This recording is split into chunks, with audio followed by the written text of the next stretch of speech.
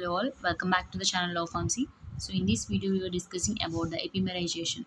So generally epimerization అంటే so ఏదైనా ఒక కాంపౌండ్లో ఫర్ ఎగ్జాంపుల్ దాని యొక్క particular change of the stereochemical center దగ్గర ఉంటే సో దాన్ని ఎపిమరైజేషన్ అంటారు సో ఎపిమరైజేషన్కి ఎగ్జాంపుల్ టెట్రాసైక్లిన్ అనమాట so one of the most important property of tetracycline is their ability to undergo epimerization at C four four position remember keto enol tautomerism అనేది C three position C two to C three whereas epimerization అనేది C four carbon దగ్గర జరుగుతుంది.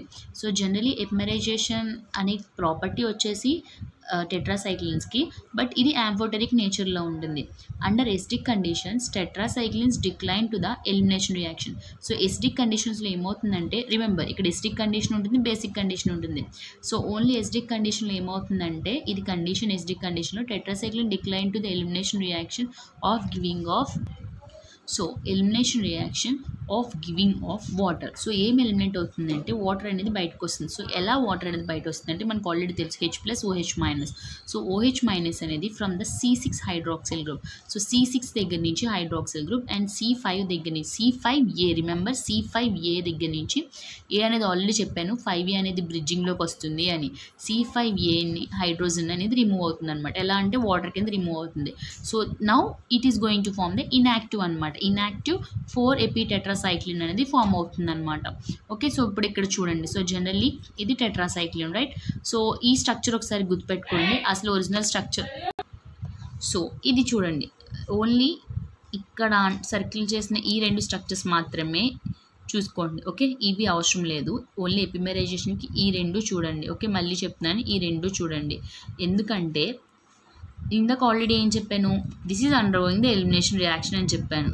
And C six carbon దగ్గర OH అనేది and five A so ఇది చెప్పాను కదా ఇది బ్రిడ్జింగ్ అనమాట సో ఇది ఫైవ్ ఏ అండ్ ఇది ఏమవుతుందంటే లెవెన్ ఏ అనమాట సో ఈ ఫైవ్ ఏ దగ్గర ఉన్న హైడ్రోజన్ అనేది ఇది ఇది ఇది వాటర్ కింద ఎలిమినేట్ అవుతుంది అనమాట సో ఇలా ఎలిమినేట్ అయినప్పుడు మనకి టెట్రాసైక్లిన్ అనేది ఫోర్ ఎపీ టెట్రాసైక్లిన్ కింద కన్వర్ట్ అవుతుంది. సో ఇది ఈ ఈ పాయింట్ అనేది గుర్తుపెట్టుకోండి ఓకే? సో ఇప్పుడు ప్రీవియస్ వీడియో చూద్దాం స్లైడ్ చూద్దాం. సో ఇప్పుడు చూడండి. సో ఇందాక స్ట్రక్చర్ వరకు చూసారు కదా వాటర్ అనేది ఎలిమినేట్ అయింది. సో ఆల్రెడీ ఇక్కడ ఏమని చెప్తున్నాం? ఎప్మెరైజేషన్ అనేది ఫోర్ ఏ దగ్గర జరు ఫోర్ దగ్గర జరుగుతుంది అనమాట సో ఆ స్ట్రక్చర్ గుర్తుపెట్టుకోండి. వాటర్ ఎలా లాస్ అవుతుంది అనేది ప్రీవియస్ స్లైడ్లో చూపించాం. బట్ ఈ స్లైడ్లో ఏం జరుగుతుంది? ఎపిమరైజేషన్ ఎలా ఫామ్ అవుతుంది చూద్దాం. ఆ స్టెప్ అయిన తర్వాత ఎపిమరైజేషన్ సి ఇక్కడ డాటెడ్ లైన్ కింద డైమిథైల్ అమైన్ అనేది రాసాము. అండ్ ఈ యొక్క డార్క్ లైన్ కింద హైడ్రోజన్ అనేది రాసాం. సో మిగతా అన్ని సేమ్ ఎప్పుడైతే బేస్ అండ్ హెచ్ ప్లస్ మనకి ఇక్కడ ఏమవుతుందంటే సి ఏదైతే ఇక్కడ హైడ్రోజన్ ఉందో ఆ హైడ్రోజన్ అనేది ఇక్కడ నుంచి రిమూవ్ అవుతుంది. సో బికాస్ ఎప్మెరైజేషన్ అనమాట ఓకే సో ఇలా జరిగిన తరువాత నెక్స్ట్ ఏమవుతుందంటే ఇక్కడికి వచ్చేటప్పటికి సేమ్ ఇలాగే ఇది రివర్సిబుల్ అనమాట మళ్ళీ దీనిలాగా కన్వర్ట్ అవుతూనే ఉంటుంది బికాజ్ ఇది జ్యూట్రాయనిక్ ఫామ్ కాబట్టి. సో ఇక్కడికి ఏమవుతుంది? ఏదైతే ఇక్కడ డా డాటెడ్ లైన్ కింద ఉన్న డైమిథైల్ అమైన్ అనేది ఇక్కడికి వచ్చేటప్పటికి ఒక టిక్ లైన్ కింద మీకు ఫామ్ అవుతుంది. చూసారో లేదో. అండ్ ఇక్కడ హైడ్రోజన్ అనేది ఎలా ఫామ్ అవుతుంది? డాటెడ్ లైన్ కింద కన్వర్ట్ అవుతుంది. సో ఇది ఫోర్ ఎపి టెట్రాసైకిల్ అంటారు. సో ఎపిమెరైజేషన్ అన్నప్పుడు ఈ ఫోర్ ఈ పైన పాయింట్స్ అండ్ అలాగే ఈ స్ట్రక్చర్ అనేది రాయడం మర్చిపోదు okay so this is epimerization this is enough